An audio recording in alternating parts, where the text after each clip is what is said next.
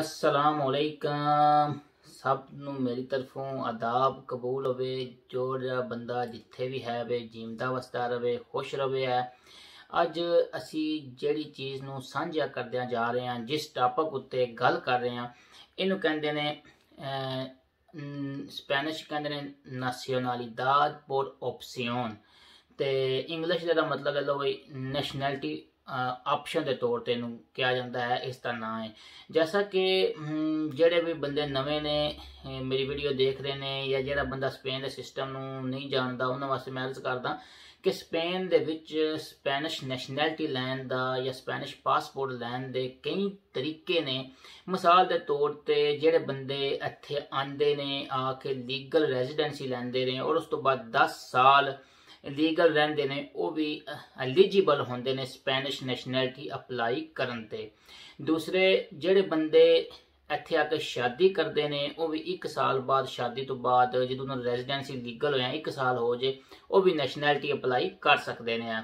ਤੀਸਰੇ ਜਿਹੜੇ ਬੱਚੇ ਸਪੇਨ 'ਚ ਪੈਦਾ ਹੁੰਦੇ ਨੇ ਹੈ, ਉਹ ਵੀ ਸਾਲ ਬਾਅਦ ਲੀਗਲ ਰੈਜ਼ੀਡੈਂਸੀ ਤੋਂ ਨੈਸ਼ਨੈਲਿਟੀ ਅਪਲਾਈ ਕਰ ਸਕਦੇ ਨੇ ਹੈ। ਜਿਹੜੇ ਬੰਦੇ ਲੈਟਿਨ ਅਮਰੀਕਾ ਦਾ ਜਿਨ੍ਹਾਂ ਕੋਲ ਪਾਸਪੋਰਟ ਹੈ ਉਹ ਵੀ ਬੰਦੇ ਜਿਹੜੇ ਨੇ ਲੀਗਲ ਰੈਜ਼ੀਡੈਂਸੀ ਤੋਂ 2 ਸਾਲ ਬਾਅਦ ਸਪੈਨਿਸ਼ ਨੈਸ਼ਨੈਲਿਟੀ ਜਾਂ ਪਾਸਪੋਰਟ ਅਪਲਾਈ ਕਰ ਸਕਦੇ ਨੇ ਜਿਹੜੇ ਬੰਦੇ ਅਸਾਈਲਮ ਅਪਲਾਈ ਕਰਦੇ ਨੇ, ਸਿਆਸੀ ਪਨਾ ਉਹਨਾਂ ਦਾ ਸਿਆਸੀ ਪਨਾ ਦਾ ਕੇਸ ਪਾਸ ਹੋ ਜਾਂਦਾ ਹੈ ਤੇ ਉਹ ਵੀ 5 ਸਾਲ ਲੀਗਲ ਜਦੋਂ ਉਹਨਾਂ ਨੂੰ ਹੋ ਜਾਂਦੇ ਨੇ ਤੇ ਉਹ ਵੀ ਨੈਸ਼ਨੈਲਿਟੀ ਜਾਂ ਸਪੈਨਿਸ਼ ਪਾਸਪੋਰਟ ਅਪਲਾਈ ਕਰ ਸਕਦੇ ਨੇ ਹੈ ਹੁਣ ਜਿਹੜਾ ਟਾਪਿਕ ਅਸੀਂ ਅੱਜ ਡਿਸਕਸ ਕਰ ਰਹੇ ਹਾਂ, ਉਹ ਵੇ ਸਪੈਨਿਸ਼ ਨੈਸ਼ਨੈਲਿਟੀ ਫਾਰ ਆਪਸ਼ਨ ਜਿਸ ਤਰ੍ਹਾਂ ਕਿ ਤੁਹਾਨੂੰ ਪਤਾ ਥੰਬਨੇਲ ਤੋਂ ਲੱਗ ਗਿਆ ਹੋਗਾ ਲੇਕਿਨ ਮੈਂ ਕੋਸ਼ਿਸ਼ ਕੋਸ਼ਿਸ਼ ਕਰਾਂਗਾ ਕਿ ਵਾਰੀ-ਵਾਰੀ ਜਿਹੜਾ ਇਸ ਚੀਜ਼ ਨੂੰ ਸਾਂਝਾ ਕੀਤਾ ਜਾਏ ਹੈ।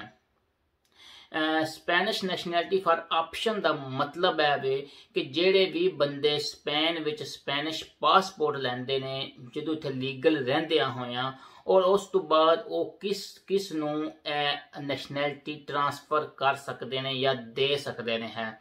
ਜਾਂ ਜੋ ਸਭ ਤੋਂ ਪਹਿਲੀ ਪਹਿਲਾ ਜਿਹੜਾ ਵੇ, ਉਹ ਵੇ ਕਿ ਉਹ ਆਪਣੇ ਬੱਚਿਆਂ ਨੂੰ ਦੇ ਸਕਦੇ ਨੇ ਨੈਸ਼ਨੈਲਿਟੀ ਹੈ। ਯਾਨੀ ਕਿ ਕੋਈ ਵੀ ਬੰਦਾ ਜਦੋਂ ਸਪੇਨ ਚੋਂ ਪਾਸਪੋਰਟ ਲੈਂਦਾ, ਬੀਵੀ ਨੂੰ ਨੈਸ਼ਨੈਲਿਟੀ ਨਹੀਂ ਦੇ ਸਕਦੇ, ਬੀਵੀ ਨੂੰ ਕਾਰਡ ਮਿਲੇਗਾ ਰੈਜ਼ੀਡੈਂਸ ਲੇਕਿਨ ਬੱਚਿਆਂ ਨੂੰ ਉਹ ਨੈਸ਼ਨੈਲਿਟੀ ਟ੍ਰਾਂਸਫਰ ਕਰ ਸਕਦੇ ਨੇ। ਹਾਂ, ਉਹਨਾਂ ਨੇ ਹੁਣ ਸ਼ਾਦੀ ਕਰਕੇ ਨੈਸ਼ਨੈਲਿਟੀ ਲਈ ਹੈ ਯਾਨੀ ਕਿ ਬਾਅਦ ਦਫਾ ਬੀਵੀ ਨੂੰ ਤਲਾਕ ਦੇ ਦਿੰਦੇ ਨੇ, ਬੰਦੇ ਸ਼ਾਦੀ ਕਰ ਲੈਣ ਹਾਂ, ਉਹ ਵੈਸੇ ਇੱਥੇ ਲੀਗਲ ਰਹਿੰਦੇ ਹੋਏ ਨੇ। ਉਹਨਾਂ ਨੂੰ ਰਹਿੰਦੇ ਹੋਇਆ ਉਹਨੂੰ ਨੈਸ਼ਨੈਲਿਟੀ ਮਿਲੀ ਹੈ ਤੇ ਉਹ ਇਸ ਨੂੰ ਆਪਣੇ ਬੱਚਿਆਂ ਨੂੰ ਟ੍ਰਾਂਸਫਰ ਕਰ ਸਕਦੇ ਨੇ ਹੈ।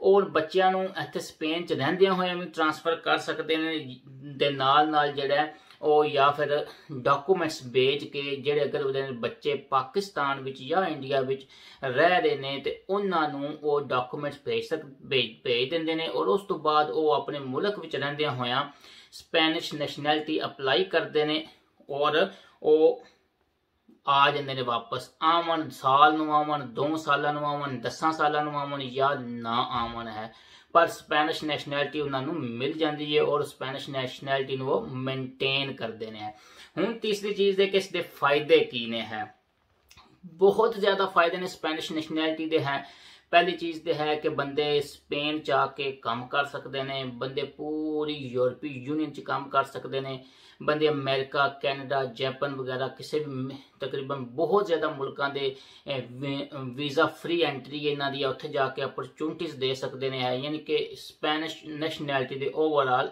ਅਨਗਿਣਤ ਫਾਇਦੇ ਨੇ ਹੈ। ਹੁਣ ਅਸੀਂ ਨੇ ਨੇ ਸੈਕਸ਼ਨ ਚ ਜਾਣਦੇ ਹਾਂ ਕਿ ਕਿਹੜਾ ਬੰਦਾ ਇਹਨਾਂ ਨੂੰ ਸੋਲਿਸਿਟਾਰ ਕਰਾ, ਕਰ ਸਕਦਾ, ਜਮ੍ਹਾਂ ਕਰਾ ਸਕਦਾ? ਜਿਸ ਤਰ੍ਹਾਂ ਥੋੜੀ ਦੇਰ ਪਹਿਲੇ ਮੈਂ ਦੱਸਿਆ ਕਿ ਬੱਚੇ ਕਰ ਸਕਦੇ ਨੇ ਹੈ। ਹੁਣ ਅਸੀਂ ਦੱਸਾਂਗੇ ਕਿ ਕਿਸ ਤਰ੍ਹਾਂ ਕਿਸ ਤਰ੍ਹਾਂ ਉਹ ਕਰ ਸਕਦੇ ਨੇ ਹੈ। ਇਹ ਸਪੈਨਿਸ਼ ਨੈਸ਼ਨਲ ਦੇ ਬੱਚੇ ਵੀ ਕਰ ਸਕਦੇ ਨੇ। ਮਿਸਾਲ ਤੌਰ ਤੇ ਕਿਸੇ ਸਪੈਨਿਸ਼ ਨੈਸ਼ਨਲ ਦੀ ਨੈਸ਼ਨੈਲਿਟੀ ਖਤਮ ਹੋ ਗਈ ਸੀ। ਇਸ ਦੌਰਾਨ ਉਹ ਬੱਚਾ ਪੈਦਾ ਹੋਇਆ ਹੈ। ਬਾਅਦ ਚ ਉਹਨੇ ਆਪਣੀ ਨੈਸ਼ਨੈਲਿਟੀ ਰਿਕਵਰ ਕਰ ਲਈਏ ਤੇ ਉਹ ਵੀ ਐਸੇ ਪ੍ਰੋਸੈਸ ਦੇ ਵਿੱਚੋਂ ਗੁਜ਼ਰੇਗਾ। ਜਿਹੜੇ ਬੰਦੇ ਸਾਡੇ ਇੱਥੇ ਆਉਂਦੇ ਨੇ, ਉਹ ਵੀ ਨੈਸ਼ਨੈਲਿਟੀ ਲੈਂਦੇ ਨੇ। ਬਾਅਦ ਚ ਉਹ ਵੀ ਐਸੇ ਪ੍ਰੋਸੈਸ ਦੇ ਥਰੂ ਗੁਜ਼ਰਨਗੇ ਹੈ। ਠੀਕ ਹੈ ਜੀ। ਇਹਨਾਂ ਚ ਵੈਸੇ ਤਾਂ ਕਈ ਕੈਟਾਗਰੀਆਂ ਆਉਂਦੀਆਂ ਨੇ ਲੇਕਿਨ ਸਾਡੀ ਸਾਨੂੰ ਦੋ ਚ ਇੰਟਰਸਟ ਹੈ ਮੈਂ ਉਹਨਾਂ ਨੂੰ ਫਿਰ ਨੋਮੀਨੇਟ ਕਰ ਕਰ ਰਿਹਾ। ਇੱਕ ਤੇ ਇਹ ਵੇ ਕਿ ਜਿਹੜੇ ਸਾਡੇ ਬੱਚੇ ਹੁੰਦੇ ਨੇ, ਉਹ ਕਰ ਸਕਦੇ ਨੇ, ਜਿਨ੍ਹਾਂ ਨੂੰ ਸਾਡੇ ਸਾਡੇ origignal ਬਾਇਓਲੋਜੀਕਲ ਬੱਚੇ ਹੁੰਦੇ ਨੇ ਤੇ ਦੂਸਰਾ ਜਿਹੜੇ ਬੱਚਿਆਂ ਨੂੰ ਅਸੀਂ ਅਡਾਪਟ ਕਰਨੇ ਆ, ਅਸੀਂ ਆਪਣਾ ਨਾਂ ਦਿੰਨੇ ਆ, ਅਸੀਂ ਲਿਖਨੇ ਆ ਕਿ ਕੋਈ ਵੀ ਸਪੈਨਿਸ਼ ਹੈ, ਉਹ ਕਿਸੇ ਵੀ ਬੱਚੇ ਨੂੰ ਬਾਹਰ ਯੂਰਪੀਅਨ ਦੇ ਬਾਹਰ ਦੇ ਮੁਲਕ ਚ ਕੋਈ ਦਾ ਕੋਈ ਬੱਚਾ ਉਸ ਨੂੰ ਅਡਾਪਟ ਕਰੇਗਾ ਤੇ ਉਹ ਉਸ ਦੀ ਵੀ ਨੈਸ਼ਨੈਲਿਟੀ ਜਮਾ ਹੋ ਸਕਦੀ ਹੈ। ਉਸ ਤੋਂ ਇਲਾਵਾ ਤੀਸਰੀ ਚੀਜ਼ ਇਹ ਆਉਂਦੀ ਹੈ ਕਿ ਕੌਣ ਕਰ ਕਿਹੜੇ ਬੱਚਿਆਂ ਨੂੰ ਅਸੀਂ ਦੇ ਸਕਨੇ ਆ? ਅਸੀਂ ਪਹਿਲੇ ਗੱਲ ਤੇ ਕੀਤੀ ਕਿ ਬੱਚਿਆਂ ਨੂੰ ਦੇ ਸਕਨੇ ਆ, ਬੱਚੇ ਕਿੰਨੀ ਕਿੰਨੀ ਉਮਰਾਂ ਦੇ ਹੋਣਗੇ ਤੇ ਉਹਨਾਂ ਨੂੰ ਅਸੀਂ ਦੇ ਸਕਨੇ ਆ।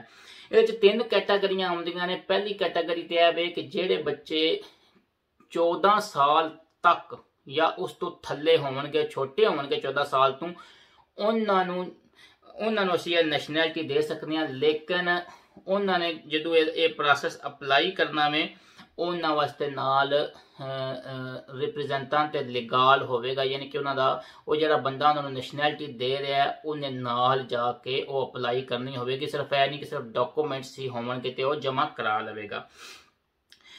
ਉਸ ਤੋਂ ਬਾਅਦ ਦੂਸਰੀ ਕੈਟਾਗਰੀ ਆਉਂਦੀ ਹੈ 14 ਤੋਂ 18 ਸਾਲ ਦੇ ਬੱਚਿਆਂ ਦੀ। ਕਿ ਅਗਰ ਉਹਨਾਂ ਦੇ ਅੱਬੇ ਨੂੰ ਨੈਸ਼ਨੈਲਿਟੀ ਮਿਲ ਗਈ ਹੈ ਔਰ ਉਹਨਾਂ ਨੇ ਨੈਸ਼ਨੈਲਿਟੀ ਜਮ੍ਹਾਂ ਕਰਾਣੀ ਹੈ ਤਾਂ ਉਹ ਪਹਿਲੇ ਵੀ ਜ਼ਿਕਰ ਕੀਤਾ ਹੈ ਕਿ ਉਹ ਇੱਥੇ ਸਪੇਨ ਦੇ ਰਜਿਸਟਰ ਸਿਵਲ 'ਚ ਵੀ ਜਮ੍ਹਾਂ ਨੇ ਔਰ ਪਾਕਿਸਤਾਨ ਕਰਨੇ ਤੇ ਉੱਥੇ ਵੀ ਜਮ੍ਹਾਂ ਕਰਾ ਸਕਦੇ ਨੇ, ਲੇਕਿਨ 14 ਤੋਂ 18 ਸਾਲ ਦੇ ਦਰਮਿਆਨ ਹੋਣਗੇ ਤਾਂ ਸਾਰੀ ਡਾਕੂਮੈਂਟੇਸ਼ਨ ਲੈ ਕੇ ਉਹ ਖੁਦ ਜਮ੍ਹਾਂ ਕਰਾ ਸਕਦੇ ਨੇ ਹੈ। ਤੀਸਰੀ ਕੈਟਾਗਰੀ ਆਉਂਦੀ ਹੈ 18 ਤੋਂ 20 ਸਾਲ ਦੀ ਉਮਰ ਦੇ ਦੌਰਾਨ ਕਿ ਯਾਨੀ ਕਿ ਜਦੋਂ ਬੱਚਾ 18 ਸਾਲ ਦੀ ਉਮਰ ਚ ਮਾਇਓਰ ਦੇ ਦਾਦ ਹੋ ਜਾਂਦਾ ਹੈ, ਉਹਦੀ ਉਮਰ 18 ਸਾਲ ਦੀ ਪੂਰੀ ਹੋ ਜਾਂਦੀ ਹੈ, ਇਸ ਸਪੇਨ ਦੇ ਕਾਨੂੰਨ 'ਚ ਇਹਨਾਂ ਨੂੰ 2 ਸਾਲ ਦੀ ਛੂਟ ਦਿੱਤੀ ਗਈ, ਯਾਨੀ ਕਿ 20 ਸਾਲ ਦੀ ਉਮਰ ਵਿੱਚ ਵੀ ਉਹ ਨੈਸ਼ਨੈਲਿਟੀ ਜਮ੍ਹਾਂ ਕਰਾ ਸਕਦੇ ਨੇ ਹੈ।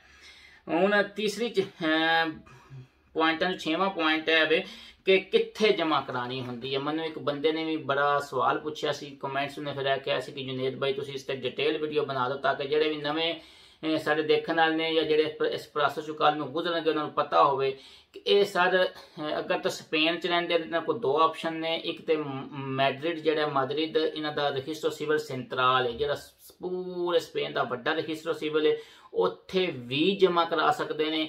ਦੂਜੀ ਹੈ ਕਿ ਜਿਹੜੀ ਜਗ੍ਹਾ ਤੇ ਰਹਿੰਦੇ ਪਏ ਨੇ ਹੈ ਜਿਹੜਾ ਇਹਨਾਂ ਨੂੰ, ਜਿੱਥੇ ਇਹਨਾਂ ਦੀ ਪਦਰੋਨਾਮੀਅੰਟ ਹੋਵੇ ਉੱਥੇ ਜਿਹੜਾ ਰਜਿਸਟਰੋ ਸਿਵਲ ਜਿਹੜਾ ਉਹਨਾਂ ਨੂੰ ਲੱਗੇਗਾ ਉਸ ਪਦਰੋਨਾਮੀਅੰਟ ਦੇ ਹਿਸਾਬ ਤੇ ਬਾਰਸਲੋਨਾ ਜਿਸ ਤਰ੍ਹਾਂ ਤੇ ਬਾਰਸਲੋਨਾ ਦਾ ਜਿਹੜਾ ਰਜਿਸਟਰੋ ਸਿਵਲ ਹੈ ਹਸਪੀਟਲ ਤੇ ਤੇ ਹਸਪੀਟਲ ਦਾ ਰਜਿਸਟਰ ਸਿਵਲ, ਇਸ ਤਰ੍ਹਾਂ ਜਿਹੜੇ ਪਿੰਡ, ਸ਼ਹਿਰ 'ਚ ਜਿਹੜਾ ਬੰਦਾ ਰਹਿੰਦਾ ਉਹਦਾ ਰਜਿਸਟਰ ਸਿਵਲ ਚ ਵੀ ਉਹ ਜਮ੍ਹਾਂ ਕਰਾ ਸਕਦੇ ਨੇ ਤੀਸਰੀ ਚੀਜ਼ ਹੈ ਕਿ ਅਗਰ ਉਹ ਸਪੇਨ ਵਿੱਚ ਨਹੀਂ ਰਹਿੰਦੇ ਤੇ ਉਹ ਸਪੈਨਿਸ਼ ਐਮਬੈਸੀ ਦੇ ਵਿੱਚ ਜਾ ਕੇ ਇਹ ਜਮ੍ਹਾਂ ਕਰਾ ਸਕਦੇ ਨੇ ਠੀਕ ਹੈ ਜੀ ਉਸ ਤੋਂ ਬਾਅਦ ਜਿਹੜੇ ਨੇ 18 ਤੋਂ 20 ਸਾਲ ਦੇ, ਉਹ ਵੀ ਆਪੂ ਜਮਾ ਕਰਾ ਸਕਦੇ ਨੇ ਹੈ ਹੁਣ ਅੱਗੂ ਹੈ ਵੇ ਕਿ ਕਿਹੜੇ ਕਿਹੜੇ ਡਾਕੂਮੈਂਟਸ ਚਾਹੀਦੇ ਹਨ ਇਹਨਾਂ ਵਾਸਤੇ ਡਾਕੂਮੈਂਟਸ ਬਹੁਤ ਹੀ ਆਸਾਨ ਨੇ, ਬਹੁਤ ਹੀ ਸਿੰਪਲ ਨੇ।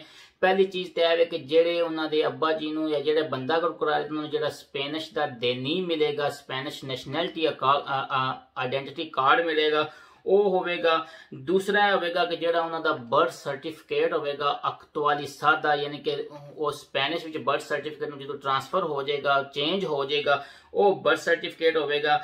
ਤੀਸਰੀ ਚੀਜ਼ ਜਿਹੜੀ ਹੈ ਇਹਨੂੰ ਕਹਿੰਦੇ ਨੇ ਅਕਤਾ ਦੇ ਮੈਨੀਫੈਸਟੇਸ਼ਨ ਇਹ ਨੋਟਾਰੀਸ ਤੋਂ ਜਮਾ ਬਣਵਾਉਣਾ ਹੁੰਦਾ ਹੈ। ਇਹ ਨੋਟਾਰੀਓ ਹਰ ਜਗ੍ਹਾ ਹੁੰਦੇ ਨੇ ਅਕਤਾ ਦੇ ਮੈਨੀਫੈਸਟੇਸ਼ਨ ਬਣਵਾ ਲੈਣੀ ਇਹ ਤਰੇ ਚੀਜ਼ਾਂ ਜਿਹੜੀਆਂ ਨੇ ਤੁਸੀਂ ਆਪਣੇ ਮੁਲਕ ਭੇਜਣੀਆਂ ਨੇ ਅਗਰ ਇੱਥੇ ਹੋ ਤੇ ਫਿਰ ਤੇ ਸਿੱਧਾ ਰਜਿਸਟਰ ਸਿਵਲ ਸਟੋਰ ਜਾਣਾ, ਬੱਚਿਆਂ ਨੂੰ ਨਾਲ ਲੈ ਕੇ ਉਹਨਾਂ ਦੇ ਬਰਥ ਸਰਟੀਫਿਕੇਟ ਲੈ ਕੇ ਜਾਣੇ, ਨਾਲ ਆਪਣੇ ਡਾਕੂਮੈਂਟ ਲੈ ਕੇ ਜਾਣੇ ਨੇ, ਬਹੁਤ ਹੀ ਈਜ਼ੀ ਈਜ਼ੀ ਹੋ ਜਾਏਗਾ। ਅਗਰ ਤੁਸੀਂ ਆਪਣੇ ਮੁਲਕ ਜਾਂਦੇ ਹੋ, ਪਾਕਿਸਤਾਨ ਹੋ ਤਾਂ ਤੁਸੀਂ ਐਮਬੈਸੀ ਚੋਂ ਅਪਾਇੰਟਮੈਂਟ ਲੈਣੀ ਹੈ ਔਰ ਫਿਰ ਜਾ ਕੇ ਸਾਰੇ ਡਾਕੂਮੈਂਟਸ ਲੈ ਕੇ ਅਪਲਾਈ ਕਰ ਦੇਣਾ ਹੈ। ਡਾਕੂਮੈਂਟਸ ਕੀ ਚਾਹੀਦੇ ਨੇ ਹੈ? ਅੱਬਾ ਜੀ ਦਾ ਪਾਸਪੋਰਟ ਚਾਹੀਦਾ ਹੈ ਠੀਕ ਹੈ ਜੀ। ਸੌਰੀ ਦੇਣੀ ਚਾਹੀਦਾ ਪਾਸਪੋਰਟ ਹੋ ਜੇ। ਅੱਬਾ ਜੀ ਦਾ ਬਰਥ ਸਰਟੀਫਿਕੇਟ ਜਿਹੜਾ ਅਕਤਵਾਲੀ ਦਾ ਹੋਵੇਗਾ ਚੇਂਜ ਹੋਇਆ, ਉਹ ਚਾਹੀਦਾ ਹੈ। ਅਕਤਾ ਦੇ ਮੈਨੀਫੈਸਟੇਸ਼ਨ ਜਿਹੜਾ ਨਤਾਰੇ ਤੋਂ ਬਣਾਇਆ ਹੋਵੇਗਾ, ਉਹ ਚਾਹੀਦਾ ਉਸ ਤੋਂ ਬਾਅਦ ਬੱਚੇ ਦਾ ਬਰਥ ਸਰਟੀਫਿਕੇਟ ਚਾਹੀਦਾ ਬੱਚੇ ਦਾ ਪਾਸਪੋਰਟ ਚਾਹੀਦਾ ਜਿਹਦੇ ਚ ਉਹਦਾ, ਉਹਦੀ ਸਾਰੀ ਹਿਸਟਰੀ ਟਰੈਵਲ ਹਿਸਟਰੀ ਹੋਵੇ ਹੈ। ਉਸ ਤੋਂ ਬਾਅਦ ਅਗਰ ਬੱਚੇ 18 ਸਾਲ ਤੋਂ ਘੱਟ ਨੇ ਤੇ ਉਹਨਾਂ ਦੇ ਜਿਹੜੀ ਹੈ, ਉਹਨਾਂ ਵਾਸਤੇ ਫਿਰ ਅਗਰ ਵਾਲਦ ਨਾਲ ਹੋਵੇ ਤੇ ਬਹੁਤ ਅੱਛੀ ਬਾਤ ਹੈ। ਅਗਰ ਵਾਲਦ ਨਾਲ ਨਹੀਂ ਹੈ ਤੇ ਜਾਂ ਜਿਹੜਾ ਬੰਦਾ ਵੀ ਉਹਨਾਂ ਨੂੰ ਨੈਸ਼ਨੈਲਿਟੀ ਦੇ ਰਿਹਾ, ਜਿਹਦੀ ਬੇਸ ਤੇ ਲੈ ਰਹੇ ਨੇ, ਉਹ ਫਿਰ ਪੋਦੇਰ ਯਾਨੀ ਕਿ ਅਥਾਰਟੀ ਲੈਟਰ ਉਹਦੀ ਤਰਫੋਂ ਹੋਵੇਗਾ ਕਿ ਮੈਂ ਇਜਾਜ਼ਤ ਦੇਣਾ ਵਾ ਕਿ ਇਹ ਜਿਹੜੇ ਨੇ, ਇਹ ਜਮ੍ਹਾਂ ਕਰਾ ਲੈਣ ਹੈ। ਉਸ ਤੋਂ ਬਾਅਦ ਸਰ ਟਾਈਮ ਕਿੰਨਾ ਲੱਗਦਾ ਹੈ? ਟਾਈਮ ਸਰ 6 ਤੋਂ 12 ਮਹੀਨੇ ਐਮਬੈਸੀ ਲਾਂਦੀ ਹੈ। ਡਿਪੈਂਡ ਕਰਦਾ ਹਰ ਕੰਟਰੀ ਚ ਕਿਨ- ਕਿਸ ਤਰ੍ਹਾਂ ਐਮਬੈਸੀ ਵਰਕ ਕੰਪਲੀਟ ਹੁੰਦੀ ਹੈ। ਅਪਰੋਕਸੀਮੇਟਲੀ ਸੀ ਟਾਈਮ ਅੰਦਾਜ਼ਾ ਹੈ, ਇਹ ਹੈ ਕਿ 6 ਤੋਂ 12 ਮਹੀਨੇ ਲੱਗਦੇ ਨੇ। ਉਸ ਤੋਂ ਬਾਅਦ ਜਿਹੜੀ ਹੈ ਅੰਬੈਸੀ ਤੁਹਾਨੂੰ ਫੋਰਾਮੈਂਟੋ ਵਾਸਤੇ ਬੁਲਾਏਗੀ ਹੈ। ਫੋਰਾਮੈਂਟੋ ਹੁੰਦੀ ਹੈ ਕਿ ਤੁਸੀਂ ਜਾ ਕੇ ਕਸਮਾਂ ਖਾਣੀਆਂ ਹੁੰਦੀਆਂ ਨੇ। ਹੁਣ ਮੇਰੇ ਕੋਲ ਇੰਗਲਿਸ਼ ਦਾ ਐਗਜ਼ੈਕਟ ਵਰਡ ਨਹੀਂ ਆ ਰਿਹਾ ਜ਼ਿਹਨ 'ਚ। ਹੈ ਕਿ ਜਾ ਕੇ ਤੁਸੀਂ ਸਾਈਨ ਕਰਨੇ ਹੁੰਦੇ ਨੇ ਕਿ ਅਸੀਂ ਸਪੇਨ ਦੀ ਅਥਾਰਟੀਜ਼ ਨਾਲ ਵਫਾਦਾਰ ਰਵਾਂਗੇ, ਇਹ ਉਹ ਸਾਰਾ ਉਸ ਤੋਂ ਬਾਅਦ 1 ਤੋਂ 2 ਮਹੀਨੇ ਦੇ ਅੰਦਰ ਅੰਦਰ ਤੁਹਾਨੂੰ ਪਾਸਪੋਰਟ ਮਿਲ ਜਾਂਦਾ ਸਪੈਨਿਸ਼ ਪਾਕਿਸਤਾਨ ਬੈਠੇ ਆ ਅੱਗੋਂ ਉਸ ਬੱਚੇ ਦੀ ਮਰਜ਼ੀ ਹੈ ਉਹ ਸਪੇਨ ਆਵੇ, ਨਾ ਆਵੇ ਪਾਕਿਸਤਾਨ ਰਵੇ, ਸਾਰੀ ਜ਼ਿੰਦਗੀ ਨਾ ਆਵੇ 10 ਸਾਲ ਬਾਅਦ ਆਵੇ, ਉਹ ਫਿਰ ਸਪੈਨਿਸ਼ ਨੈਸ਼ਨਲ ਹੈ, ਠੀਕ ਹੈ ਜੀ, ਇਹ ਇਹ ਸਾਰਾ ਪ੍ਰੋਸੈਸ ਹੈ। ਇਸ ਪ੍ਰੋਸੈਸ ਨੂੰ ਕਹਿੰਦੇ ਨੇ ਨੈਸ਼ਨਲਿਡad por opción ਕਿ ਜਿਹੜੇ ਬੰਦੇ ਇੱਥੇ ਜਿਸ ਬੰਦੇ ਨੂੰ ਕੋਈ ਨੈਸ਼ਨੈਲਿਟੀ ਮਿਲਦੀ ਏ, ਉਹ ਕਿਸ ਤਰ੍ਹਾਂ ਆਪਣੇ ਬੱਚਿਆਂ ਨੂੰ ਟਰਾਂਸਫਰ ਕਰ ਸਕਦਾ ਹੈ। ਇਸ ਤੋਂ ਬਾਅਦ ਇੱਕ ਹੋਰ ਚੀਜ਼ ਆਉਂਦੀ ਹੈ ਕਿ ਤੁਸੀਂ ਆਪਣੇ ਬੱਚਿਆਂ ਤੋਂ ਇਲਾਵਾ ਆਪਣੇ ਪੋਤਰੀਆਂ, ਪੋਤਰੇ, ਦੋਤਰੀਆਂ, ਦੋਤਰਿਆਂ ਨੂੰ ਵੀ ਨੈਸ਼ਨੈਲਿਟੀ ਦੇ ਸਕਦੇ ਹੋ। ਸੇਮ ਚੀਜ਼ ਹੈ, ਬੱਚਿਆਂ ਨੂੰ ਵੀ ਦੇ ਸਕਦੇ ਹੋ ਔਰ ਪੋਤਰੀਆਂ, ਪੋਤਰੇ, ਦੋਤਰੀਆਂ, ਦੋਤਰਿਆਂ ਨੂੰ ਵੀ ਦੇ ਸਕਦੇ ਇਹਨੂੰ ਕਹਿੰਦੇ ਨੇ ਸਿੱਧਾ, ਲੀਨੀਆ ਦੇ ਪ੍ਰੀਮੀਅਰ ਗਰਾਦੋ ਕਿ ਜਿਹੜੇ ਕਿ ਸਿੱਧੇ ਜਿਹੜੇ ਬੱਚੇ ਤੁਹਾਡੇ ਚੋਂ ਨਿਕਲੇ ਨੇ ਹੈ ਅਗਰ ਤੁਹਾਡੇ ਕੋਲ ਨੈਸ਼ਨੈਲਿਟੀ ਹੈ ਤੇ ਤੁਸੀਂ ਉਹਨਾਂ ਨੂੰ ਵੀ ਦੇ ਸਕਦੇ ਹੋ ਇਹ ਇੱਕ ਬੰਦੇ ਨੇ ਬੜੀ ਪਰਜ਼ੋਰ ਫਰਮਾਇਸ਼ ਕੀਤੀ ਸੀ, ਫਿਰ ਮੈਂ ਵੀ ਥੋੜਾ ਵਰਕਆਊਟ ਕਰਕੇ ਤੇ ਇਸ ਵੀਡੀਓ ਬਣਾ ਦਿੱਤੀ ਹੈ, ਜਿੱਥੇ ਵੀ ਰਹੋ ਜੀਮਦੇ ਬਸਤੇ ਰਹੋ, ਹੱਸਦੇ ਰਹੋ ਹੈ ਦੁਆਵਾਂ 'ਚ ਯਾਦ ਰੱਖਿਓ ਟੇਕ ਕੇਅਰ ਅੱਲਾ ਹਾਫਿਜ਼, ਫੀ ਅਮਾਨ ਅੱਲਾ